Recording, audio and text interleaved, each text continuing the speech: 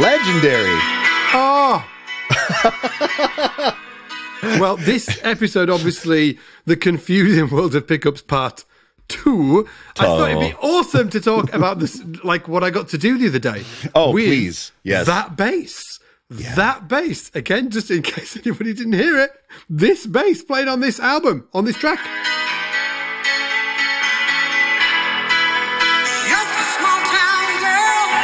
What a voice as well, right? Every Bonkers. every Oh. every wedding band bass player just groaned right now, dude. Ugh. Yeah. and, and sort of like myself included. Like there's a type of player, or there's you know a, a player out there that has played that song 800 million times over their lives and have a different relationship with it than you do, Scott Devine. Yeah. But I love Yeah. that you love that song. Do you love Dude, it? Yeah. Well, I do because of my experience the other day, but it's funny, which I'll get onto in just one sec, just one second. Yeah. So if anybody's like, "What experience?" Yeah, yeah. just hang hang on. But just to your point, I actually did play that song when I was nineteen or twenty in a in like a function band, in a like a corporate Yes. band. I just started playing bass around sort of like 18, 19, right? I'd not been, so I think it was about, I was about 19 years old.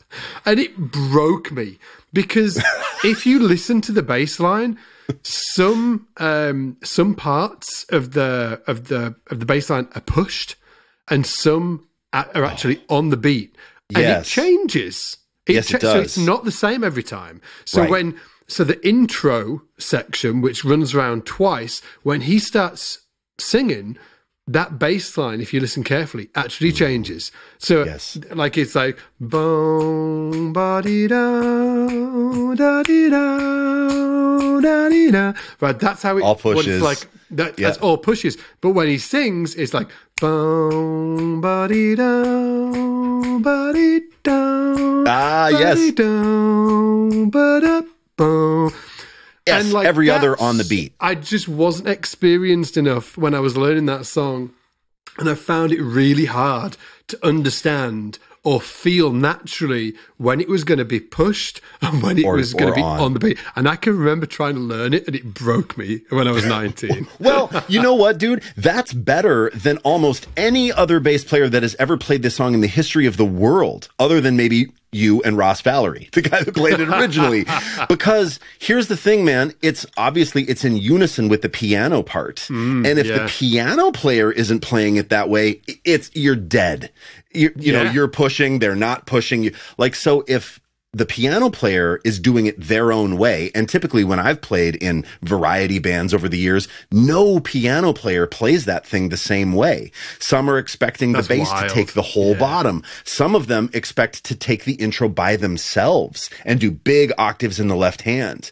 so it totally depends. But I, dude, I love, I love you for many reasons. You know that. but one, But this is the, but this is right at the top of the tree. His love for Don't Stop Believing.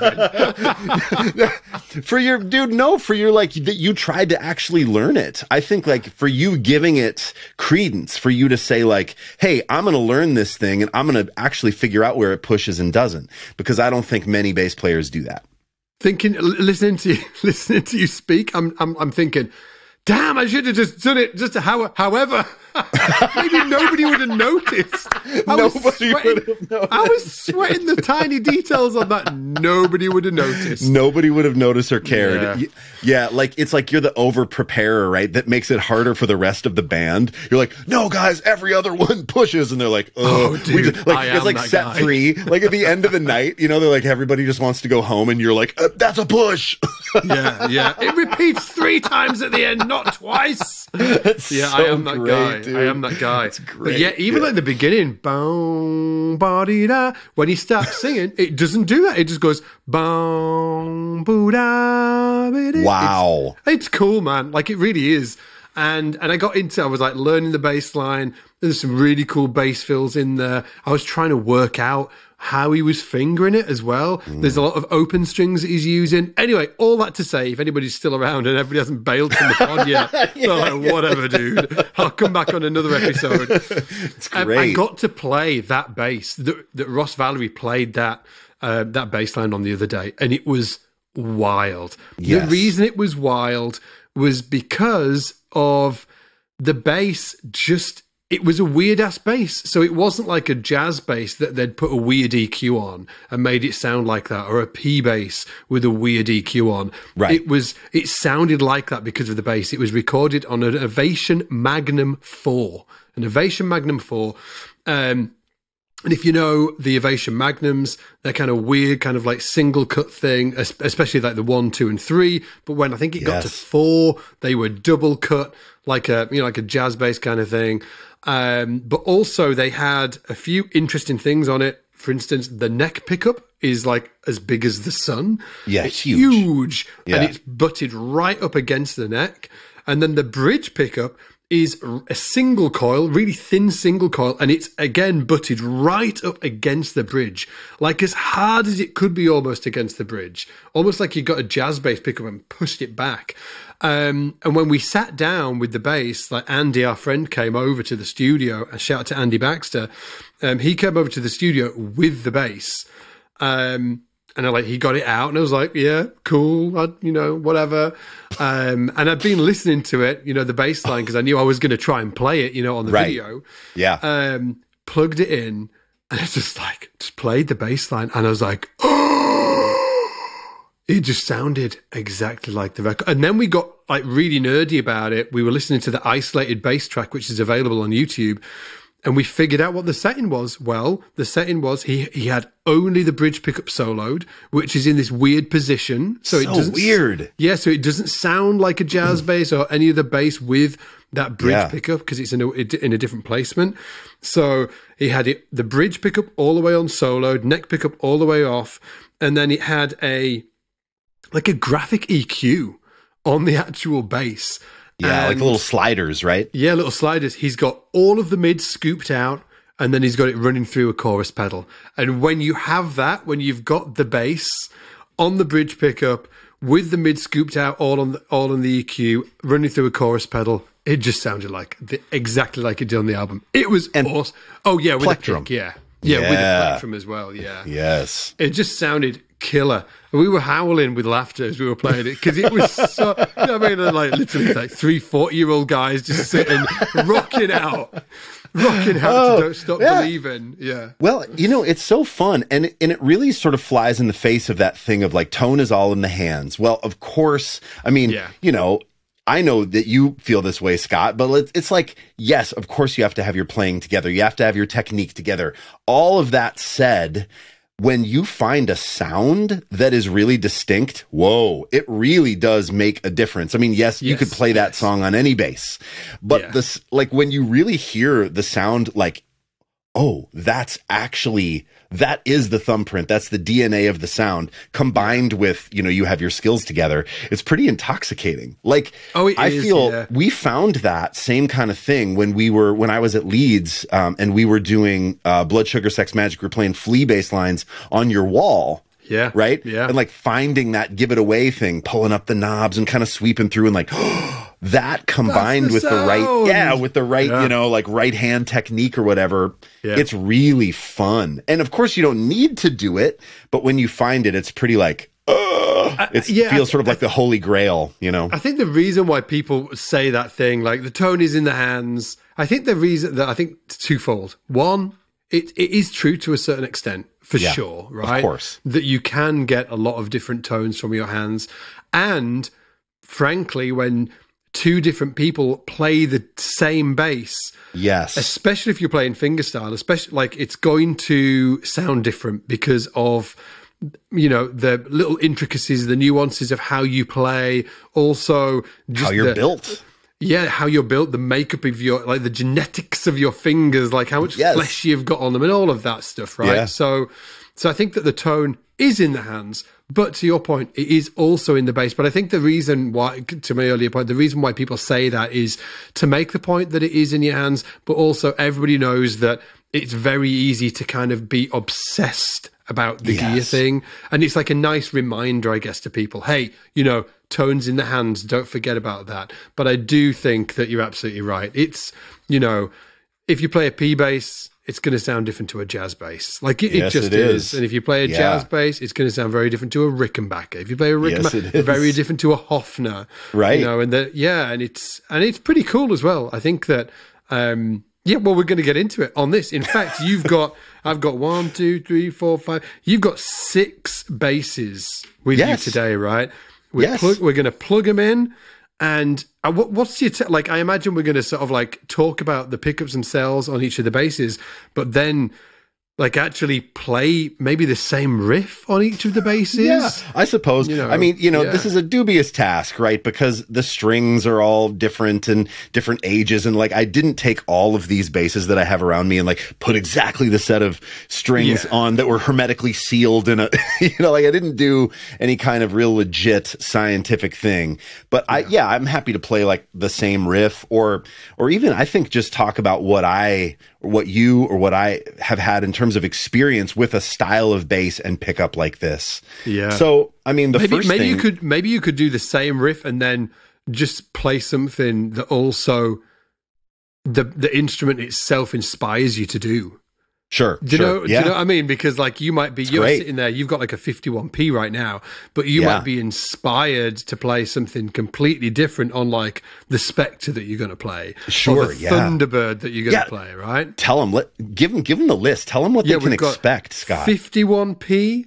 We've got a 50, so a 51, yeah, early P, which has got the single coil. That's Uh, right. we've got a 57p, which has a, it's a split humbucker, Thank you. split humbucker, Ian Allison. Uh, we've got people giving us Yeah. shit in the comments on that on, on that last podcast. We said Oh, it we had a got- humbucker. It's- Somebody was People like, like, berating us in the comments, ah! and, and and they were probably right. They rightfully did so, but it, it does turn out that it's like a split single coil, split single coil, but it, that actually is a humbucker for some reason as well. Who knows? Yeah, split that's what it says coil wired in such a way that it bucks the hum. How, how about if I say it that way for the internet trolls? It's a split coil wired in a certain way that bucks the hum. Is that better, guys? yeah. And, and and by the way, if anybody's like, oh, they're pushing back against me, we're we're doing it with love. We're Oh, doing it's it all with love. love. If you guys want to give a shit about things that we get wrong, we actually love that. Actually, yes, lean into us. it. Yeah, Please lean us. in. We're, we're Yeah. all for that. Um, Yeah. And then, like, okay, so we've got the 51p, we've got the 57p with the split Yeah. coil. Then we've got the jazz bass 1978 with 70s spacing. We're just going to stick with the 70s spacing today, but it has like two single coil jazz pickups. You got Uh, it. We've got a Music Man Stingray with a humbucker. Yes, we do. A, large humbucker. And we've Yes. got a Thunderbird with two humbuckers, and then we've Yes. got a Spectre with the PJ setup. The- and we've Active talked about the P- EMGs. yeah, active EMGs. We've talked about the PJ setup before about how we're not that keen on it. And then you've always said as a side note, but I keep on getting PJs, so maybe there's something in that. I don't know. I know. Yeah. It, yeah, it's weird. It's weird. Like I've bought a bunch of basses that are like a PJ setup. I don't love the sound of a PJ like always in the middle, but there's something about turning it like favoring the P pickup but having a little bit of that jazz bass pickup in it, bumping Uh-huh. up the treble. I'll show you. I mean, it's it's it's going down today Yeah, on the yeah. SBL podcast. Come cool. on. So Yeah. number one then, 51p. Yeah. This is it. Here it is. Yeah. Um, and so here, check it out. Now, if I just open it up and I play a note on it, you're going to hear all this buzz. Listen to that. Oh yeah. And so part of the deal, That's wild. it's wild. Part of the deal with that original sound or that original pickup is it's a very low output pickup, bright pickup, sort of woody. This is just a very simple single coil pickup with four pull pieces. And you play that note, man, you get a lot of buzz. Now, so this is this is what happens when I play it. I try to find the spot in the room where I eliminate that buzz. Now, So what Ian's doing, if you're not what if you're not watching the video, oh, by the way, if you are not subscribed to the SBL YouTube podcast channel, it's a separate Come channel. on. Go to YouTube, search SBL podcast or Scott's Bass Lessons podcast, and subscribe to that. Then you'll be able to watch the video versions as well. So if you were watching the video version as Ian rotated himself round on his stool, like so, it disappears the buzz. Yeah. Yes.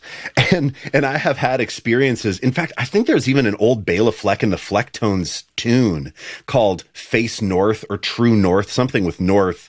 And when someone asked Victor about it, he said, Oh, it was the, the only way I had to face North because it was the only way I could get the bass to stop from buzzing, you know? Amazing. yeah. This is so great. And so there's something to me that is equally annoying and charming about this with single hmm. coils. Like the single coil buzz, I used to really hate it. Where I would hear it and I'd go, oh, you got to get rid of that. But to me, it sort of sounds like classic rock and roll. It sounds like the history of this instrument. There's obviously there's times when it's too intense, but a little single coil hum to me is no big deal. Now, if you want to completely completely eliminate it, you got to find the spot in the room Oh, and then you're just greeted. I'm like craning my neck to still talk in the mic, right? But then you're greeted by this really simple, woody sound.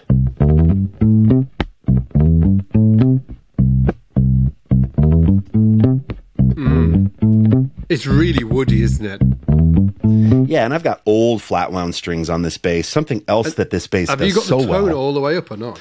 Tone is all the way up, All the Yes. way up. full on. But something this bass does so well too is tone off. You roll this tone knob back. This is a, I think a one, a point one cap, which is a very high value, bleeds off a lot of treble.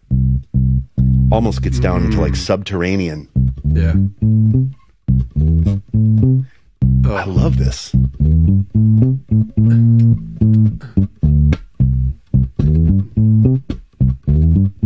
Right. But then, you know, if I face you, if I face, I guess now I'm, it doesn't matter what direction I'm facing. Right. Oh, that buzz yeah. comes back. Turn up the tone now. That buzz comes back. But, um, you're, you know, so you're wondering like, what, what else could you do with this bass? It's very simple. It's very like, classic and vintage. This to me is the epitome of like a vintage sounding bass. By the way, this is not an actual 51. I This was going to ask you, it's, it's a reissue, right? Oh, I I mean, boy, oh boy. There's anybody out there that's got a 51, 2, 3, or 4 that they want to sell me for like less than a hundred thousand dollars? Not, not. I, I think I think you can they? buy them. I I think, think you like can 20, get them. 30,000 Yes. or something like that. Yeah. I think Yeah. 30 is the very high range of it at this point. I've seen them in the upper teens as well. It's an expensive instrument, but It's a lot, Yeah. yeah. I love this bass. This was built in 2001 when the electric bass as a concept turned 50.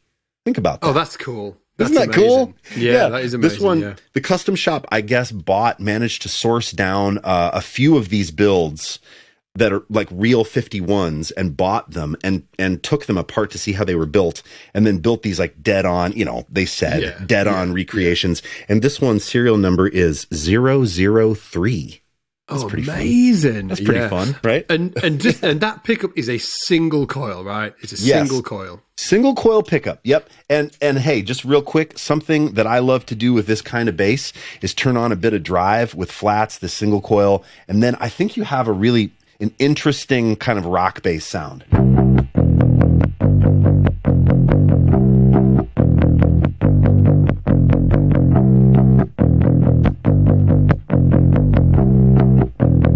Sort of sounds, what does that sound like to you? Is it sort of 70s vibe? Kind of like feels sort of vintagey but rock and roll to me. I don't know. It sounds I love it. freaking awesome. I It's love cool. it. Yeah, yeah, it's awesome. Yeah. Yeah, It's a cool Hear the, sound. let's hear the um, the fifty seven p then. 'Cause Okay, here we go. obviously- And when did that even happen? Like when did the the split coils happen? So there's a story. It was I don't know if it's like true. 52 or something, 51, 52, something like that. Or was I- it much no, I think no, I think it happened in '57. Um, Oh, God. '57 is when they changed the the style of the bass body to Yeah. this the classic P bass that everybody knows and loves. Um, and then they also changed the pickup. And I heard now this could not be right, but I heard that because of the hum, two things: the hum and the pole pieces of those single coil pickups of the 51 to 56 Yeah. um, there were these upright players that were whacking the strings really hard with their meaty upright hands, hitting the pole piece of that pickup and blowing out the tens in a Bassman 10 speaker. And so Leo Fender made a request to change the pickup design to get rid of the hum, to buck the hum with a split Yeah. coil design, huh, trolls? And then also to also put the pole pieces on either side of the pickup so that if you smacked it, it wouldn't directly smash the magnet. Oh, But it was a warranty. It was to save him from hemorrhaging money. because he was warrantying all these amps that were getting blown up by these meat-fisted bass Oh, it. players. Yeah, yeah, yeah. Yeah. Cl- club Wild. foot hands. Yeah, yeah. Hands Yeah. like a club foot. Um, so play So- that. So is this? So this has got a split coil. Yep. Uh, split. Co- it's a s- split single coil humbucker, and Yes. has it got flats on it? no, unfortunately, this bass has. Although I do have rounds on one. I I do have one with flats if you want. I was just going boom, boom, boom, boom, boom, boom, boom, Yeah. boom, boom, boom, boom, Yep. boom. That thing that you're playing.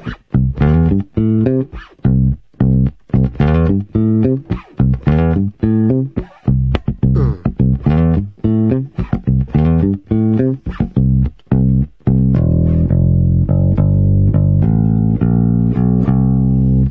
sounds great, man. Do you want to do the one with flats as well? Let's do it. so that's rounds, right? I mean, everybody knows a round round P bass. What a what a classic sound. I mean, It's the classic sound, isn't it? Yeah. and in a track, it just just is lovely. It's Um, killer, isn't it? Okay, here here is a 65 precision bass with the same flats, the same brand of flats. They're Fender 9050s, roughly the same, eh, maybe a little newer, I suppose. But so here's the P bass with flats. Here we go.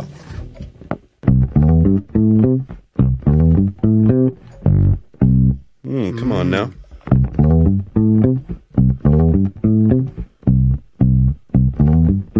Is the tone all the way up? Sure is. Wow. So that's not as woody to my ears as the No. 51. Not at all. Not at all. It's like, uh, huh, huh, huh.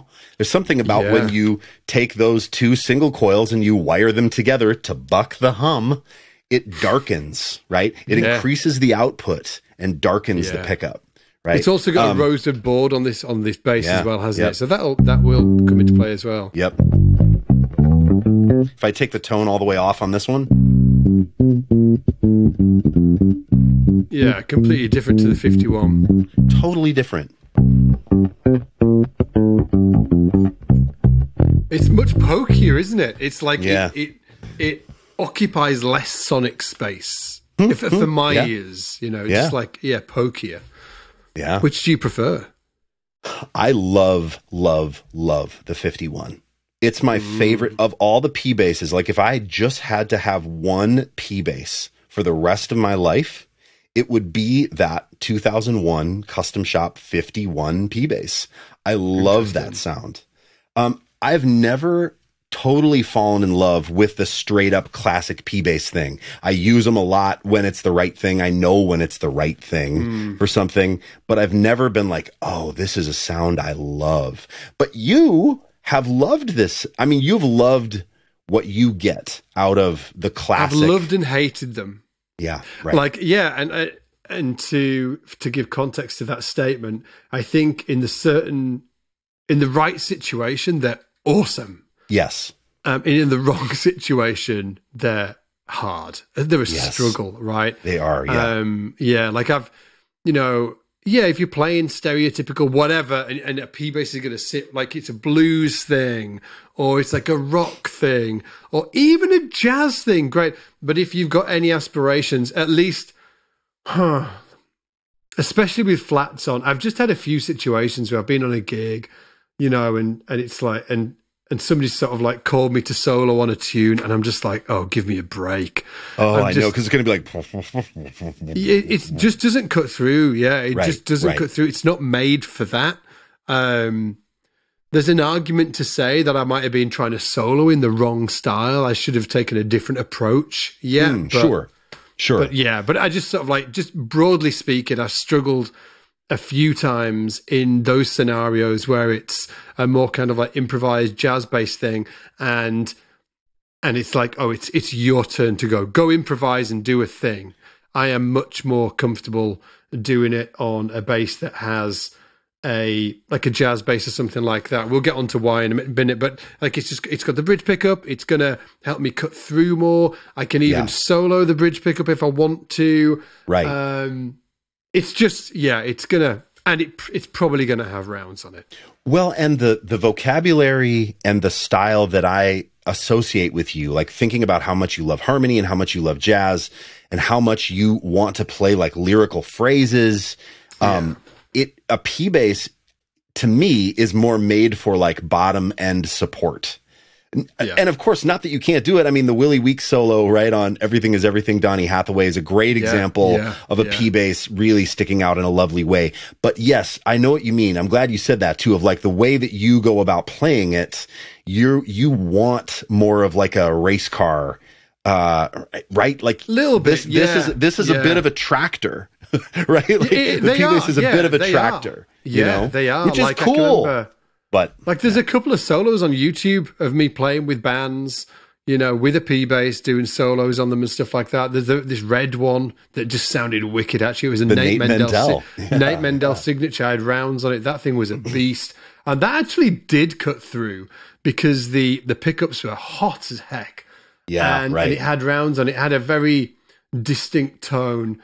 It was still a bit of a tractor, you know. I think P bases inherently are a bit of a tractor, for sure. Or like a, they're like a defender, like a Land Rover Defender, right? That Oh, that's good. I like they're Maybe that, not yeah. a tractor, but they're a defender. You know, I like that. Yeah. they're cool. Like you can, like they're like, you know what I mean? Nobody, you'll take them to any situation. It's gonna be okay. exactly right. You know, the like zombie apocalypse can happen. It's gonna be okay. You've got a Yeah, defender. yeah, yeah, yeah, yeah, But yeah. You know, it's yeah. But careful So- around that turn. Careful, around, careful, Yeah. going around that turn at at, uh, at sixty miles an hour. Like, whoa, You Yeah, know, right exactly. off the road. Exactly. yeah. So I do, yeah. So I do love P bases, and I think that they're they're great in many situations. Um, but I just have struggled a few times with them. There's like a, a there's a video of me playing with Josh Smith and Gary Novak. Yeah. And um, and I play a solo in that. And I can remember like right in the middle of the solo, just thinking.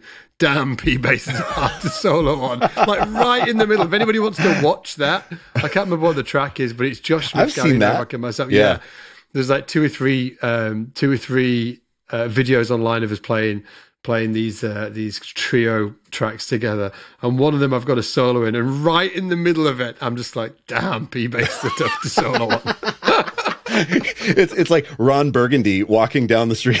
So hot, milk was a bad choice. yeah yeah yeah I'll tell you who kills it though on it like Yeah. I've, I've seen um oh no I've forgotten his name I'm so crap with names Nick uh, Nick from uh, Campbell. Stereo Pockets yeah Nick Campbell, Nick Campbell, yeah yes, um, like I've seen him absolutely tear it up on a P bass. absolutely, yes. So he's yeah, he's got a superpower that I- that that I don't seem to have.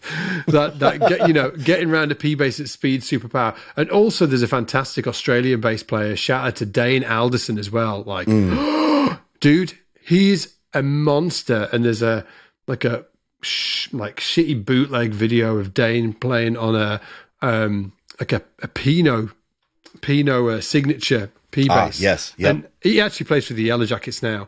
But um, but he, he absolutely tears it up on this P bass. Incredible. and it's like this groove based thing. Anyway, all that to say, not to kind of like No, dude. point, but it's it's great, and and right you know the great the right gig.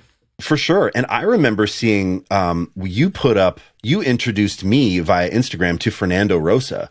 That very first video that you put up of him playing, soloing on a black early 50s style P bass. Do you remember Yeah. that? It's like a 53, 54 maybe, but it's the early, you know, single coil P bass with flats or really dead rounds. And he Yeah. sounds remarkable on it. He, like, he's a monster. Yeah. I love that Fernando, like nobody, well, I mean, of course people know he's a monster, right?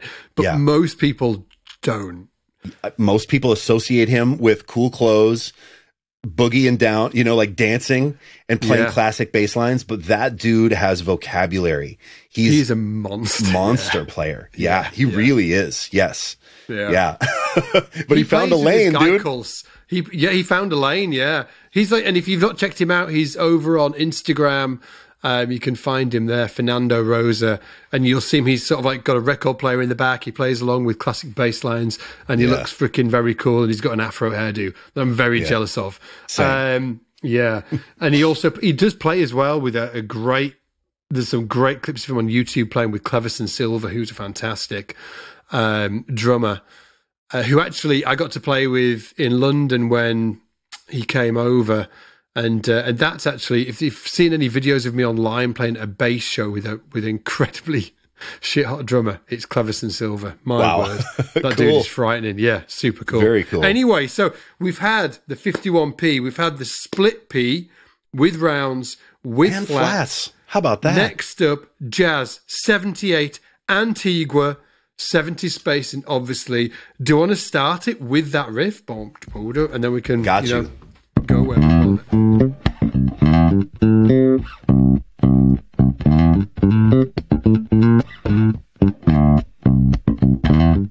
Totally different.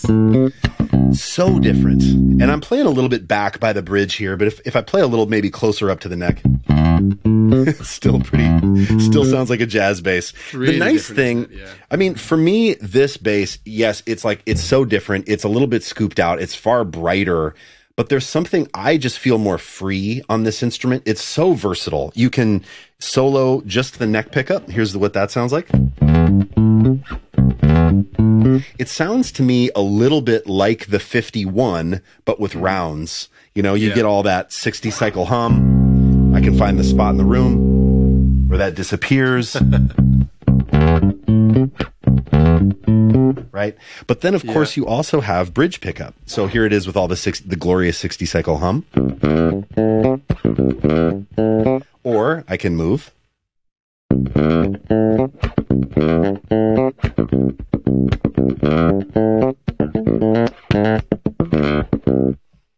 And I that is that quite you the flavor. you automatically started putting in more ghost notes, dead notes when you're doing that. Because when you're on Yeah. that bridge pickup, it kind of drives you in that direction, doesn't it? it? does. Yeah, it really does. Yeah.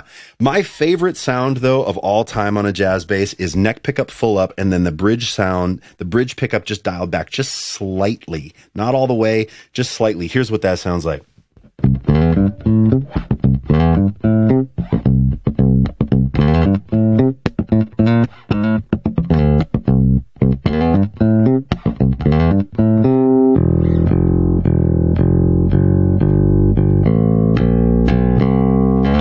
So what, is that bridge just slightly off? Yes. Is slightly off. Yep. Like a third off? Like less than a third? Like like it these have numbers on them, right? So from a 10 to a 9.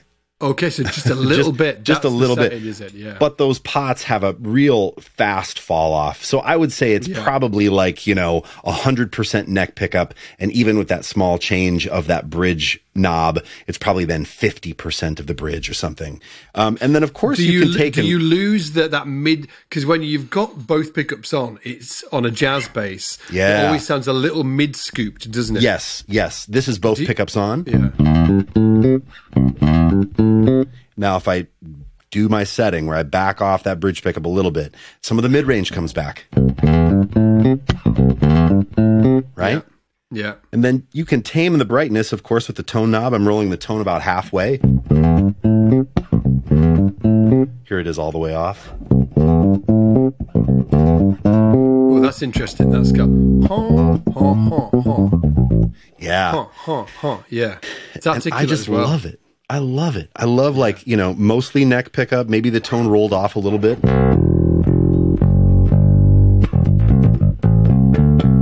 Anybody hasn't spotted as well, like just to, just to, I know it's obvious, but you know we might have somebody that's just getting into bass listening to this podcast. If you are just getting into bass, welcome to Welcome. our world. Yes, indeed. it's a cool world to be in. But we've got a we had that 51p uh, with one pickup. We had the 57p and then the other P bass as well, both with a, a split pickup. Okay, Mm-hmm. but those two basses essentially just have like one one pickup. You can't sort of like have yes. uh, you yes. can't solo the neck pickup or solo the bridge pickup. So they've Yes. kind of got like one sound that you can alter by dialing back the tone control if you want to. That's kind of the only thing that you can do with it. than mo- Electronically, yes, Yeah, right. electronically, yeah. Other than sort of like moving your hands around and getting different Exactly, tones. right. Where the jazz bass here has got two pickups, two single coils. Um, yeah, two single coils, and you can have them both on. You can have the neck on. You can have the bridge on. You know, both of those soloed as well. Um, or you can kind of like customize it, like what Ian was talking about, where you Yeah. have neck on full, but was dialing back the bridge pickup a little bit. Yes. Awesome Oh, stuff, man. Excellent summary. Geez, excellent summary. That's exactly Oh, yeah, right. dude. And this is also 70 spacing. All that means is that the bridge pickup is moved slightly more near the bridge than in the earlier models, than in the 60s models. And you know, um, if you go bridge pickup on a jazz bass, you know what that's perfect for, Scott? You know what that's perfect for? I was about to get started. Yeah! oh.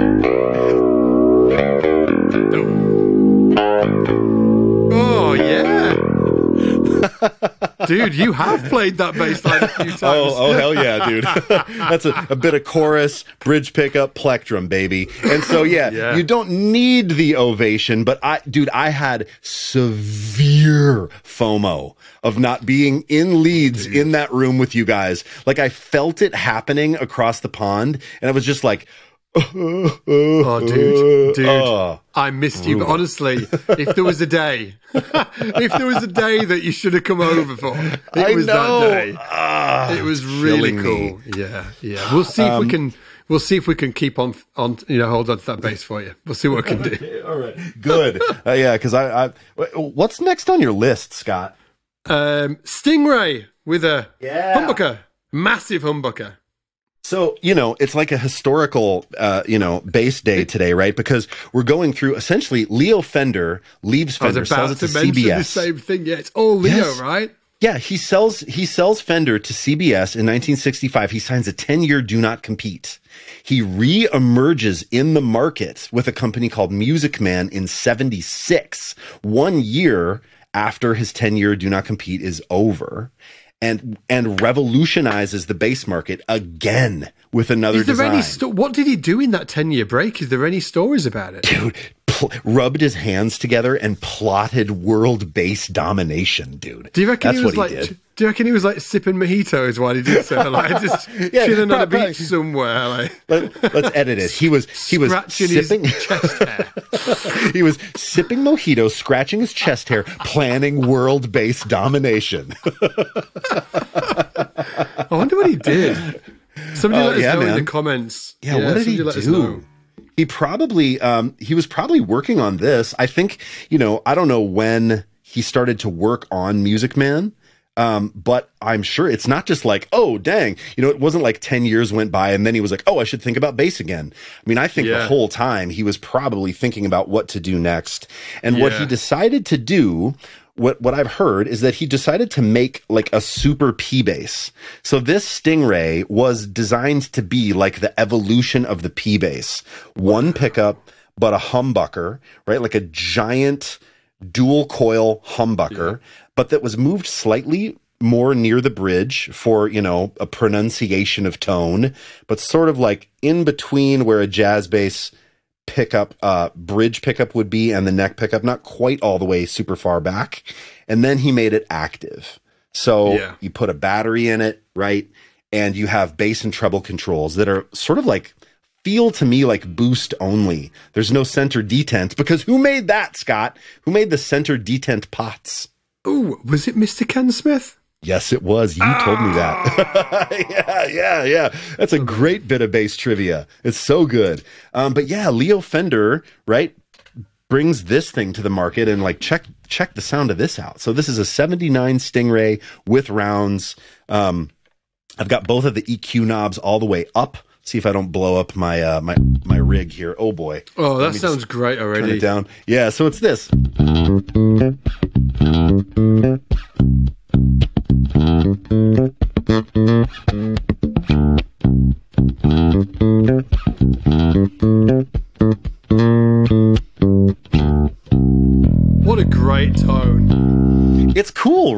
It's and cool, yeah. It's very bright. You can dial the treble back, but it still has that zzz, that little zing on the top of the note, even with the treble all the way Mm. off.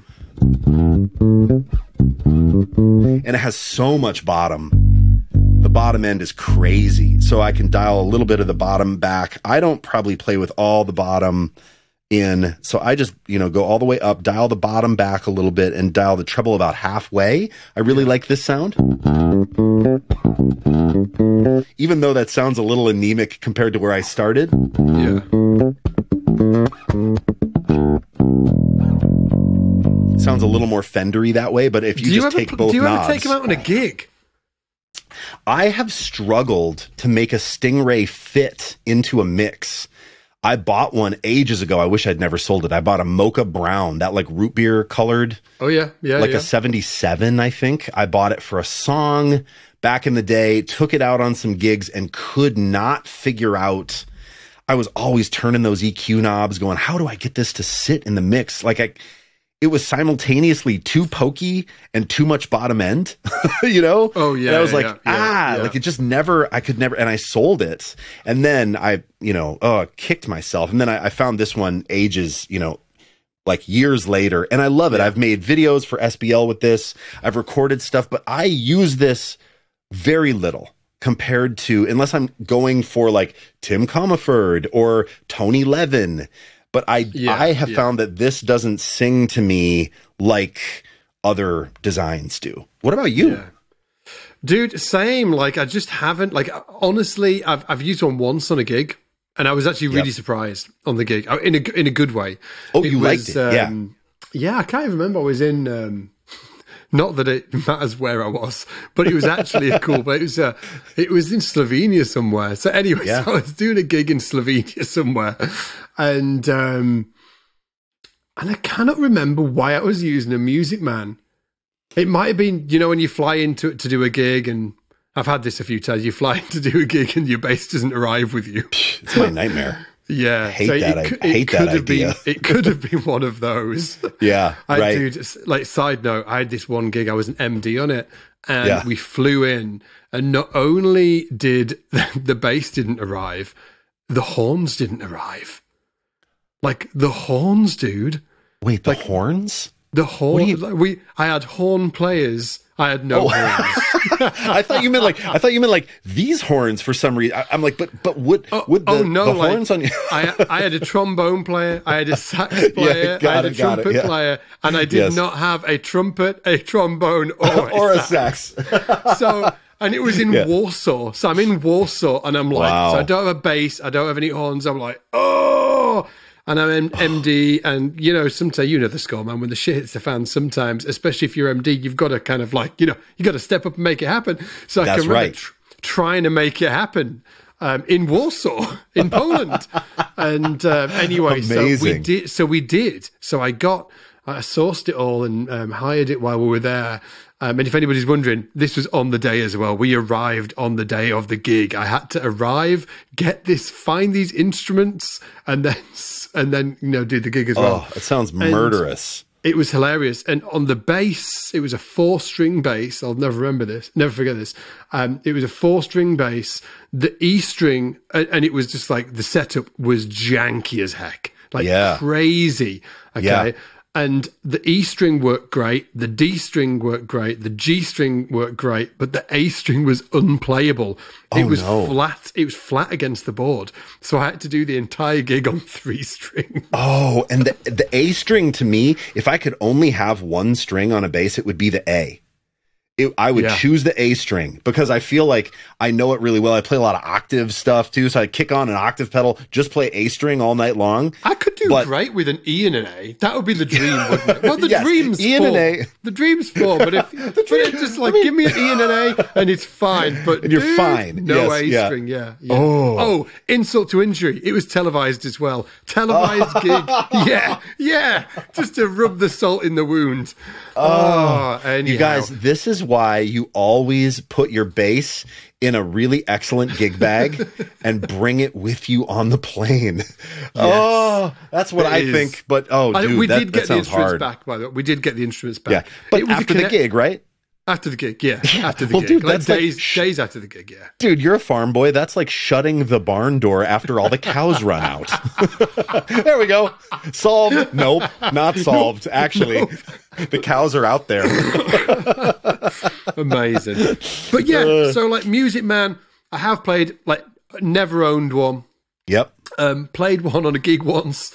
Um, and really enjoyed it. Was surprised by it. Actually, it was like, oh, I should have one of these. You should Um, actually. But what really did surprise me actually um, was visually looking at it. Even though I'd heard people play it, when I visually look at them, I'm like, oh, it's a it's a big bridge humbucker. It's a bridge Yes, pickup, it is. right, all the way It- down there. It is. But it doesn't sound anything like, let's say, for like a jazz bass with the with the, with the like bridge bass pit soloed. Nothing No, like that, nothing. right? Which It's so fascinates me. Yeah, it's so distinct. Yeah. yeah. It's so distinct. And I mean, you know, any of the. Like, it's such a killer, classic slap sound. Yeah. And I mean, with a pick, too. Well, you know, that's the, like, the Tony Levin thing, right? This thing.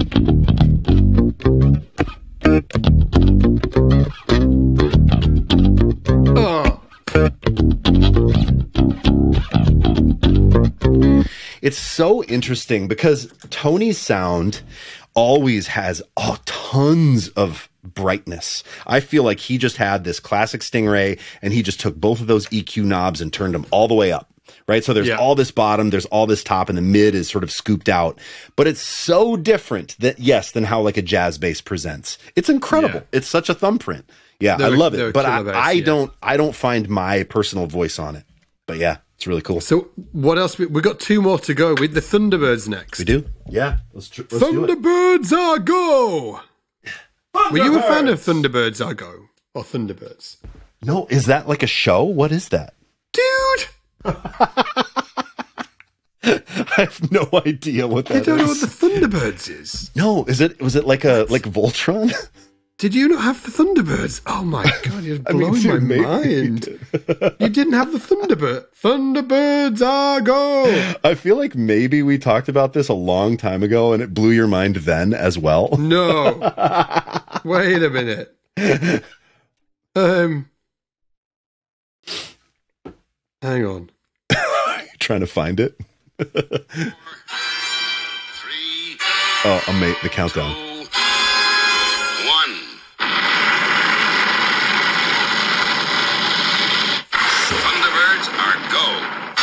go. Killing.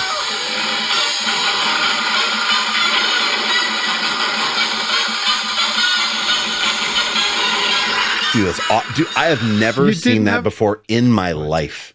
Now that Next that does telling me not mean have Bagpuss. Wait, wait. What? Bagpuss. Are you saying the word bagpuss? yeah. Excuse me, I'm- sir. I- I- what is the word that's coming out of your I, nose? mouth? I know, I know that you didn't have Bagpuss, but I just wanted to sort of reference it because loads of like mid forty-year-old dudes right now just went, "Whoa, Bagpuss!" If they're from the UK. Bagpuss, dude. Oh yeah, is- Bagpuss, dude. He's a freaky-looking cat. Yeah, Bagpuss. we had some cool shows over in the UK. Morph. There was like you are. Fraggle Rock. Uh, we had Fraggle Rock. Down at Fraggle Rock. Grab a Fraggle by the. No, I'm not going to say that.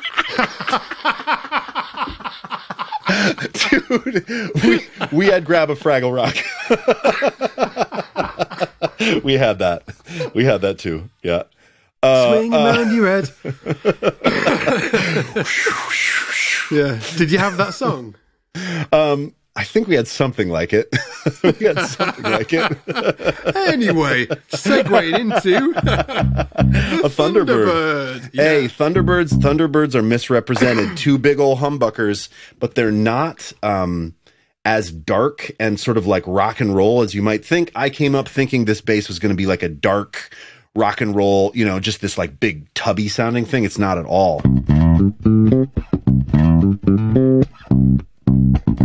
It's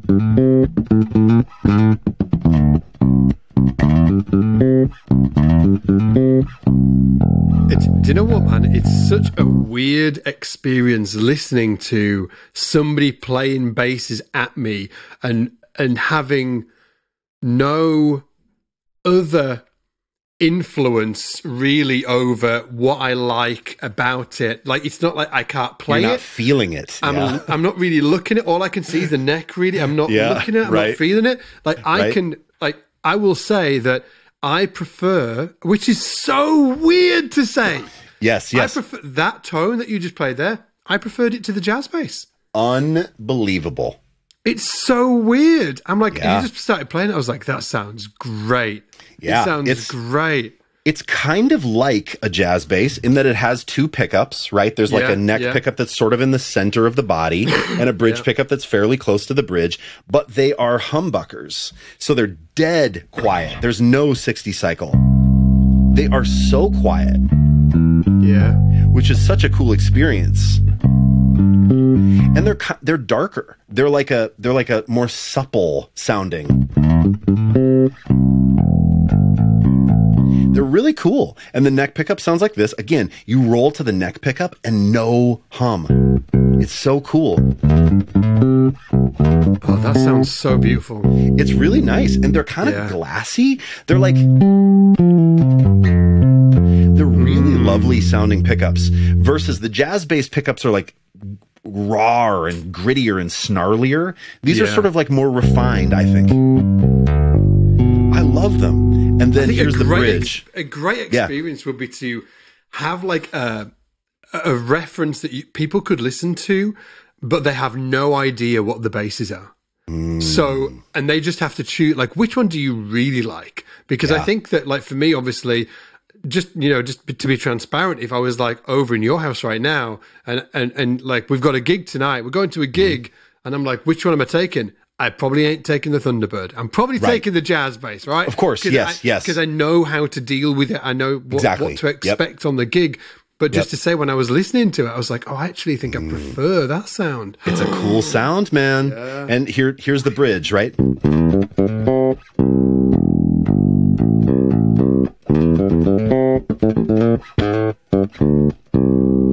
Yeah. It's pretty cool. And both together again. I They love that. combine. They combine really that nicely, don't they? combined. Yeah. Yeah. Completely different than a jazz bass, than a P bass, than a Yeah. Stingray. It's crazy. I mean, Dude, Very you, different. Have you, got, have you got a Rickenbacker? I do. You want to hear Should it? we do it? It's gonna. It's just gonna take me a second to grab it, but just talk amongst yourselves. Hell yeah. I'll talk about Bagpuss and Morph. Trying to think about other other thing, other TV shows that I could mention from from yesteryear. If anybody's wondering, I'm 40 mid 40s now, so when I when I talk about these shows over here in the UK, I'm talking about early 80s, I imagine. Oh, so good. Anyway, Ian's plugging in a beautiful looking blonde Rickenbacker. Yeah, It is- the Rickenbacker. Yeah. Backa, dude. I've I've gotten a lot of heat from how I say it too. I've always said Rickenbacker, Bacher. Wait, I think it was. I did a bit of research on this actually. I, I didn't. Yeah. I, I I should have mentioned it. Maybe I no, I didn't mention it because there was some stuff we mentioned in that first Rickenbacker video that we did uh, that actually That just cut. didn't didn't. Yeah, that got cut. So, for instance, Yeah. like people were giving us shit for not mentioning Lemmy, and we d- actually did mention Lemmy, Yeah. but whoever was editing it, you know, they they had to make it under twenty minutes, so it must have just got cut, right? Yeah, yeah. Um, all that to say, but we did make another video, and we and we had Lemmy in that, so we redeemed ourselves. Um, but but something in my research about it is that they at some point I can't remember who changed it, but that it, used to be pronounced Rickenbacker, and at some point it was then changed to Rickenbacker. Back. can't rem- and you say so Bacca. so Bacca. Yeah, and I mean, I guess in. American, in American, with my accent, it would be like Rickenbacker. But if anybody, no one in the state says Rickenbacker. Maybe, maybe a few people, but I have never heard like, oh, are you going to play the Rickenbacker at the gig? No one says that. Everyone says Rickenbacker. Everyone But- says Rickenbacker. Yeah, Bacca. Like a bark, Bark. like a dog, like a Bark. bark. Woof. Nope, Ba- nope. ba- a barker. Rick, Rick, Rick and a Rick and Barker. Bark, a Rick and Barker, Oh, boink. bark, bark, a barker. Rick and Barker. baka, Barker. Banana. banana, banana. Rick and Barker. Yeah, man, it's uh, Grab the Rickenbacker for us. Say say Rickenbacker like an American. Rickenbacker. Rick and Barker. I can't. Yeah. Put the R at the end. Rickenbacker. Rick and Backer. Rick, Rick and Backer. Rick. Yeah, that's good. That's like some Texas. You know, you get down there maybe and you say, ah, you going to play the Rickenbacker tonight? Yeah, yeah, you yeah. got You're so good with accents. Damn, so good. Anyway, Here- so here- what does this sound like? Yeah. Here's it- here's the Ricky. Love it. Yeah. it's so cool, pickups? man. Is that yeah, both? that's both. Here's neck. Love it. Yeah. and you ready for the gas frog? Here's the bridge. Oh, dang, it's hot. It's hot. It's hot. It's blowing up my rig. Here we go. Actually, that's, That's not nice bad, right? well. Yeah. I Yeah. sort of think that the Rick and the Gibson sound sort of similar. I think like mm. the Gibson, even though these are single coil, so the Rickenbacker pickups, Rickenbacker, now now I'm self conscious. Ricky pickups are Ricky single pickups. coils, and they hum constantly. Although you can hear a little 60 cycle, maybe not as bad as that jazz bass It's or that not as bad as 51p. the, as the 51p. Yeah Yeah. and but they have a similar sort of like the they c- cut off the tip top end like the Thunderbird to me, whereas like the Mm. 51p, the 51p and the jazz bass are really kind of like upper mid bright. These have Yeah. this sort of pleasant roll off where they don't feel too like aggressive in the Yeah. top end, kind of belly. Um, Yeah. And I think so. Ricky's and um, Thunderbirds present similarly to me. My favorite tones vibe. so far have been the 51, and, and I could I wouldn't have predicted this at all. Actually, I love it. 51 P Yeah. bass, Yeah. the Thunderbird that is Yeah, really surprising, and the Ricky. Dude, those three. how about that? You just Yeah. like get out of here, classics. You're just like you're like, oh yeah, P bass. You're like, Yeah, oh yeah, I, jazz yeah, I- bass. I, thought it would have been the 57P and the jazz. Yeah. yeah, yeah. Weird, man. It's like get out of here. Um, So what does then, this? Let's grab the Spectre because the Spectre is mo- like a modern bass, more modern bass, isn't it? Active. Yeah, right. So there's all these people complaining in the 70s about 60 cycle hum and right and you've got EMG that comes along and tries to solve the problem. These uh, this is a Spectre NS2. This has a uh, it's a PJ setup meaning there's a P pickup in the middle like a P bass and a jazz bass pickup in the bridge like a jazz bass. However, they did a thing where they reversed the P pickup. They Yeah. took it and flipped it around. Um, and The reason they did that is to give a tighter E and A string Yeah. and a warmer D and G string. If anybody wants, That's right. Yep, that's right. Now let me see. This is probably going to be super bright or super loud as well. But here's here's the riff. Ooh, yeah. Hold on. Hotter output.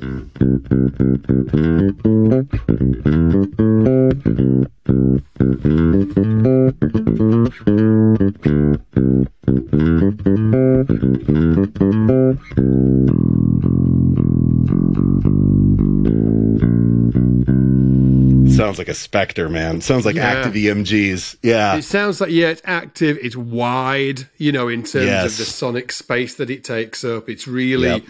it sounds clean. You know, like really clean. very clean. Yes. Yeah. There's no noise. There's no, you know, because it's all like active pickups, not single coils. They're ceramic magnets. Yeah. And Let me just I see think, if I can find this track. I'm listening. I'm just thinking about a track, and I think he uses a, a Spectre in it. Actually. Like, Yeah. yeah, yeah, yeah.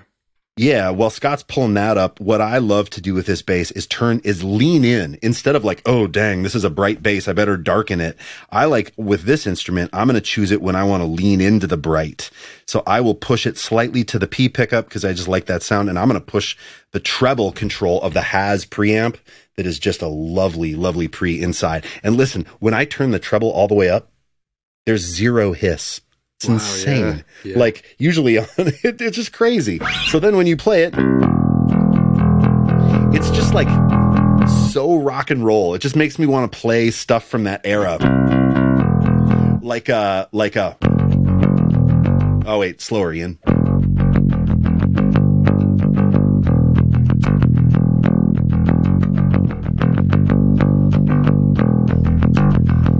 Remember that tune, Scott? Oh, dude, yeah, dude, yeah. Little Would by Alice in Chains. Yeah. Do you want to know the track that I pulled up?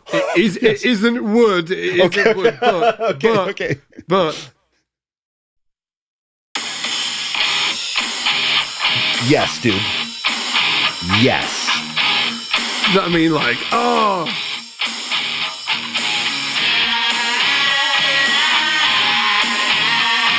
so good. Yes. Like the bass on that is so gnarly. Yeah, and it's so good. and it's that Oh, I'm just blowing Yeah. up my stuff in here. Dang it. Uh, that's yeah, that- that's the sound though. That's, the sound. That's the sound. Yeah. Yeah. Crazy. Oh, and it's really- and it's so yeah. This is wood. Yeah.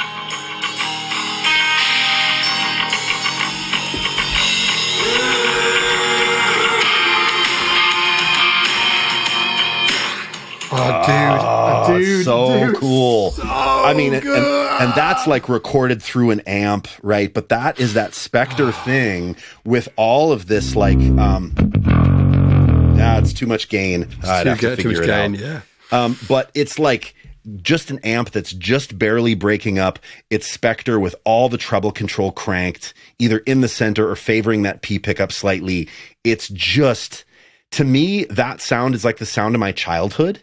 And that's Yeah. like when I started to really like rediscover the things that I love and really like put a flag in the ground of like, no, I really like this. These things about my childhood, these things about, you know, what I came up with. Spector was right in the middle of that. It was like, man, all those sounds to me that I really tried to like keep at arm's length in my 20s and 30s. Like, no, no, no, that's not cool. It's about flats. And man, I've let that Yeah, stuff back yeah. in. It's not the perfect bass for everything, but it is so again, like all of these other basses you've heard today, it's like the thumbprint. It it has a thing. You don't have to like the thing, but you have to acknowledge the thing.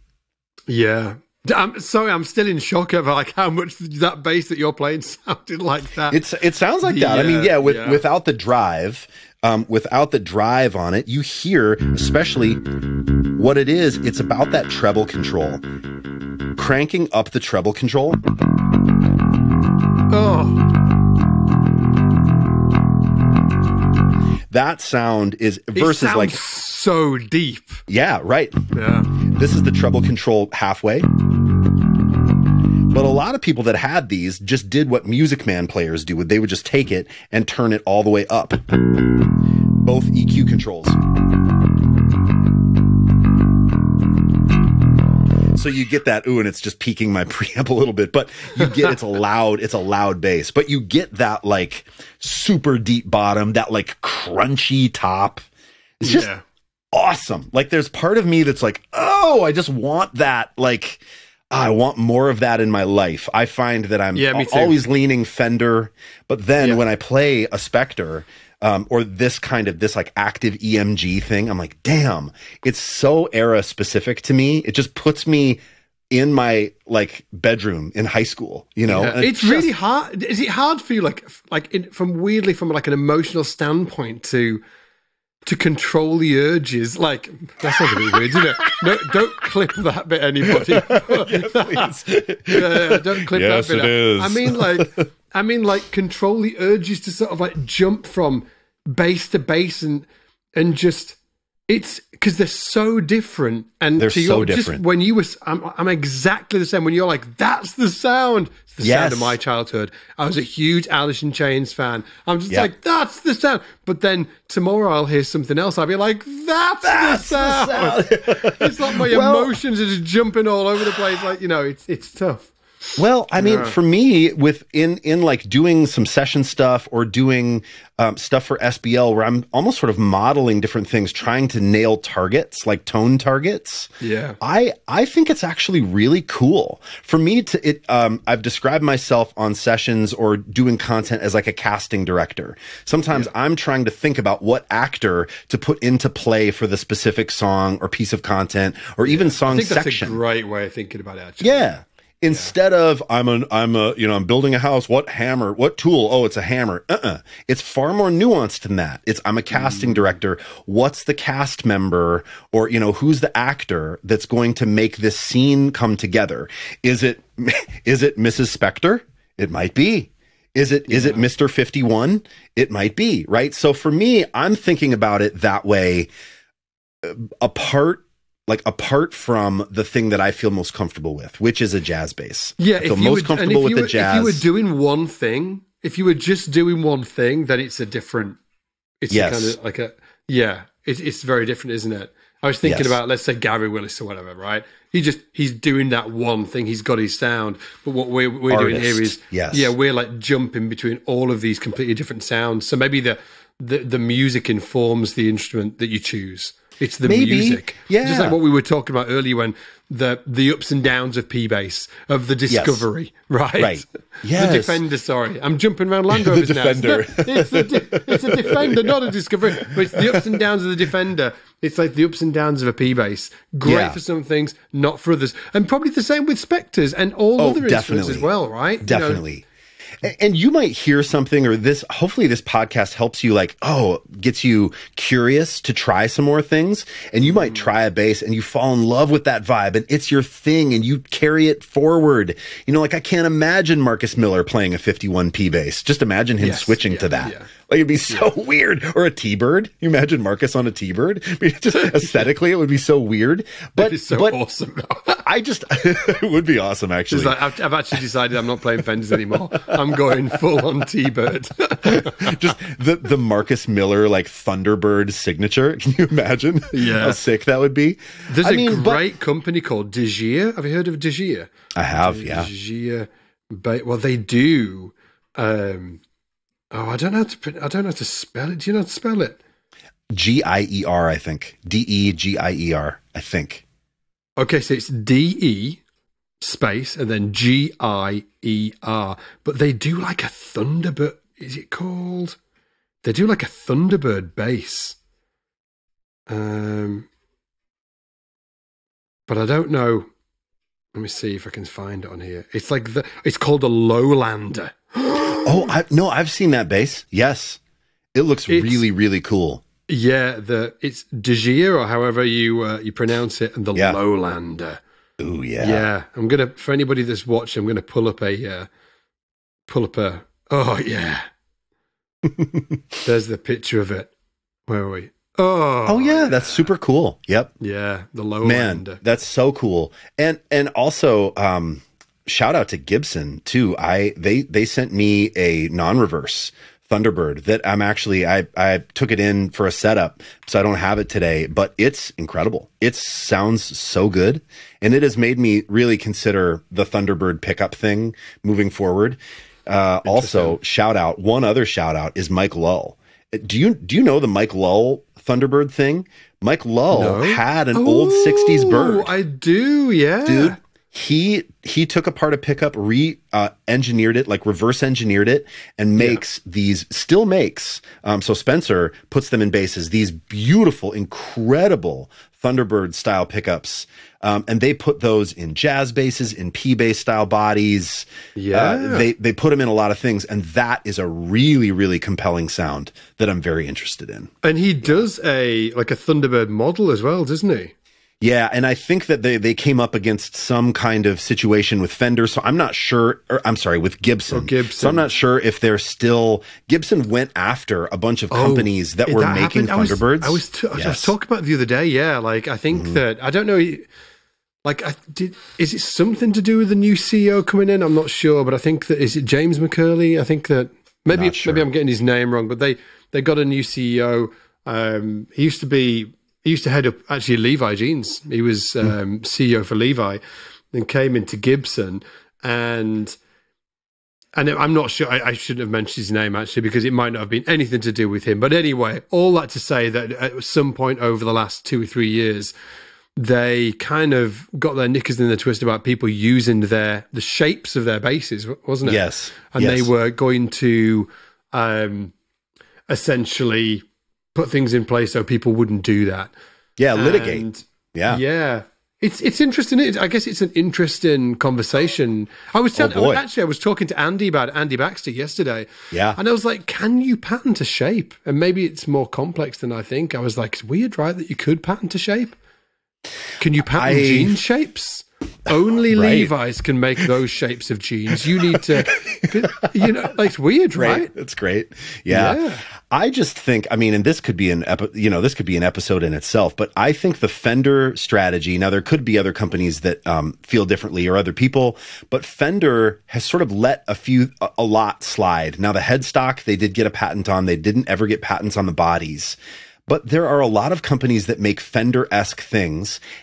I perceive, now this may not be true, but I perceive Fender as sort of saying, go ahead and make your Fender copies. All it does is point to us because there is no player out there that is going to buy a Scythe or a Sire or a Nash, right? Or some kind of Fender esque thing and then not also be curious about the real deal, whether that is an American vintage Fender or a actual vintage yeah, Fender or a custom shop. So I think I think it's easy for me to say because I'm not involved in any of these mega, you know, companies like Fender, but I think that if they're just saying, "Oh, yeah, buy that," because it's going to remind people of Fender right? It's always going to point to us. And in fact, it's sort of like flattery. And Gibson took a different approach. They took a, a aggressive litigation approach of like, if you make a T-bird body shape, we're going to um, expect expect litigation. And I just think that's um, a bummer. It just bummed me out. I think it is, and I think that um, I can understand why they made the the decision for sure, and and Sure. you know I can understand why they made it. But I think to your point, my argument would be, and I don't think that the. I'd, it would be impo- I think it's a gut thing. You'd have they they're probably going on gut. My I just can't see them having like solid data around. People are using our body shapes, therefore we are down X amount of revenue over the last sort of like whatever Ah, yeah, years yeah. or whatever. I just can't see that. So I imagine it's people are ripping off our instruments. They're making instruments in the shape of classic Gibsons. This is damaging um, sales on our side. Let's put a stop to it. I imagine that's where the sort of like where it, where it, where it came from. And my argument against that would be, um, I actually I think it strengthens what they. I agree. If I people agree. are, yeah, like just to exactly to your point it with the Fender points to thing, them. it points to them. Yeah, if there was loads of Les Paul kind of, no, I don't want to say rip-offs, but Les Paul style instruments, I think it actually inflates the brand of Gibson. agree. I don't think it detracts at all. Yeah. So and, yeah. and there might be, you know, hey, if anybody from Gibson is listening to this and they say absolutely incorrect, here's why, contact us. Let's have a conversation. It would be fascinating to have that conversation. I mean, I, I think like it would be great to have them on the podcast and talk about Uh, yeah, it. yeah, it would be amazing because we we don't have the whole picture. Maybe maybe we're totally off base here. oh, pun pun not intended, but it should have been. Um, I will say this: I have never played a Thunderbird shaped instrument like a Lull or like a Dingwall and not thought about Gibson and not thought about hmm, how is this different? How is it better? How is it worse? For me, it always makes me think about the classic thing, pine away for it, and then find a way to access that as well. So, like Yeah. a Dingwall D Roc, or it used to be called a D Bird before the litigation. That instrument just to me points toward Gibson, and I would play one of those and think, "Oh, this is cool." And in ways it's better, but in ways it's not at all as cool as um, the Gibson T-Bird. And I like both for different reasons. And I think had I not maybe played the the a T-Bird of some other manufacturer, I don't know that I would actually then be curious about the Gibson at all. So uh, yeah, man, I think um, I'm on board with with your point of view on this. Yeah. Is it free marketing in a way? Because Right. none of them are doing. Another t- thing to take into consideration is volume as well. Like none of those little makers that were doing Like Lull? and- Uh, yeah, like Lull and stuff like that. Now I know somebody might be thinking, especially if you're working at Gibson, you might be thinking, well, there's people in China that we're going to be like doing five thousand of these instruments. Sure. Yeah. I, I know that it's more complex than than probably than I'm, I'm you know taking into consideration now, but still, a lot of the a lot of the people that you know like Lull, for instance, or other uh, manufacturers like that, the volume's so low that Mm-hmm. it's actually more sort of like a branding and a marketing um, exercise for Gibson. You know, yes, in- it in actually a feels like an side, advertisement. Yeah, it Yeah, feels like an advertisement. Yeah, Yeah. I know. It's like paying And- homage to. It's not detracting. It's No. paying homage to. Yeah. Yes. And I think that's the way that's the way that I would like to operate. If I were in charge of product design or if I had a say in one of those big companies I would wonder it might just take the brand down in burning flames you know? But I would wonder I would like to stoke the flames of this is in homage this is only going to be positive it only makes people say the word Gibson say the word Fender you know? I think I think it would be interesting to see if that were true. Yeah, and ju- just to just to throw in the mix as well that um, big companies make stupid decisions as well.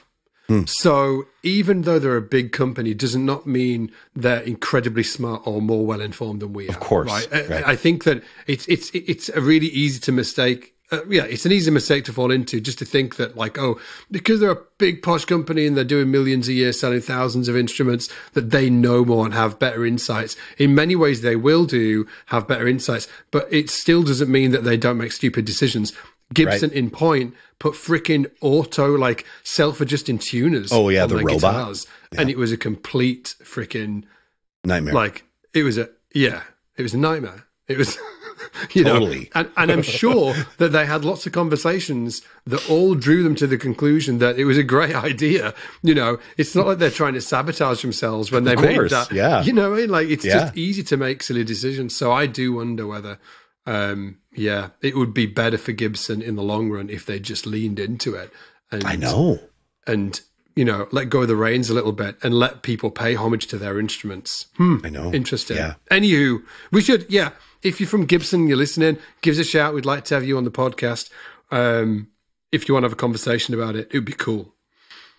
And James, we Can love we got James. Um, is it James McCurley? Is that? Is it? James? I don't know if I'm, I'm getting his. or um, or I- I'm thinking of Mark Agnesi too. You know Mark Yeah. Agnesi, who used to do all of the uh, dude. Having Mark Agnesi on the pod would be fantastic because he always used to like shit on Thumpin' Thursday when he would do them for Norm's Rare Guitars. They would do like Guitar of the Day, and Thursday was basses, and he'd be like, "Ugh, another Thumpin' Thursday," and I, that always it, it like offended a lot of bass players, but I it always cracked me up. I thought it was really funny. He leaned into that, um, and I mean, I just want to say too to Gibson, if anyone from Gibson listens to this, I love these instruments. Like I love this non-reverse Yeah. Thunderbird. I love my T-Bird. They are so so cool. It's not like oh Gibson, it's the worst. No, I have a Les Paul signature bass that looks like a Epiphone Jack Cassidy. I love it. So Yeah, it's man, yeah. I, I just it just makes me sad. The when when companies make the, you know, choose litigation, I just am like, oh, it just makes me feel bad.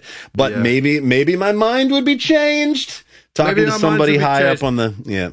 Well, maybe it is. I got his first name right. I called him James McCurley. His actual Mm-hmm. name is James Curley. So, or JC Curley. So I Scottishized him. I turned him into a Scot. A McCurley. Muck. We'll, we'll give him a Muck. Maybe, maybe JC McCur- McCurley. Maybe JC used to be a McCurley.